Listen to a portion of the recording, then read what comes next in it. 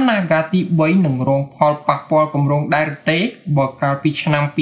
2021ក្រុមហ៊ុនកាស៊ីណូយក្សមួយនេះខាត់បង់ប្រាក់147លានដុល្លារ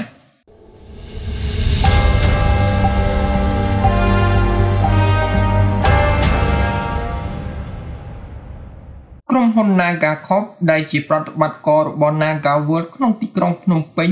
ប្រទេសកម្ពុជាបានប្រកាសថា ខ្លួនបានខាតធនអស់147លានដុល្លារអាមេរិកក្នុងឆ្នាំ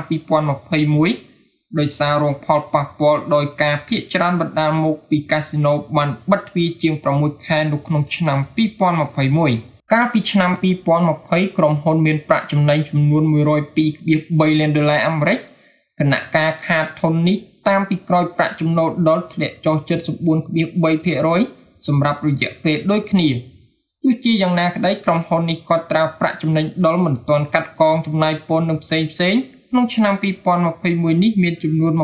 22.4លានដុល្លារដែលធ្លាក់ដល់ទៅ91%បើប្រៀបធៀបកាលពីឆ្នាំ2020ជាលទ្ធផលក្រុមហ៊ុនបានបង្ហាញថាខ្លួនមានចំណូលដុល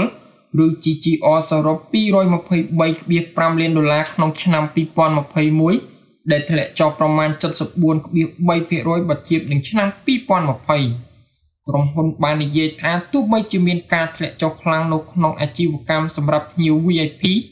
ដោយសារតែការរឹតបន្តឹងការធ្វើដំណើរក្នុងតំបន់ក៏ដោយ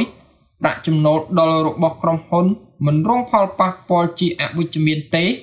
ដោយសារស្ថិរភាពតម្រូវការពីផ្នែកទីផ្សារអតិថិជន Premium Mass និង Mass គម្រោងអភិវឌ្ឍ Naga ទី3ដែលមានទឹកប្រាក់ជាង3.5000លានដុល្លាររបស់ក្រុមហ៊ុន Naga Corp កំពុងដំណើរការបុកគ្រឹះ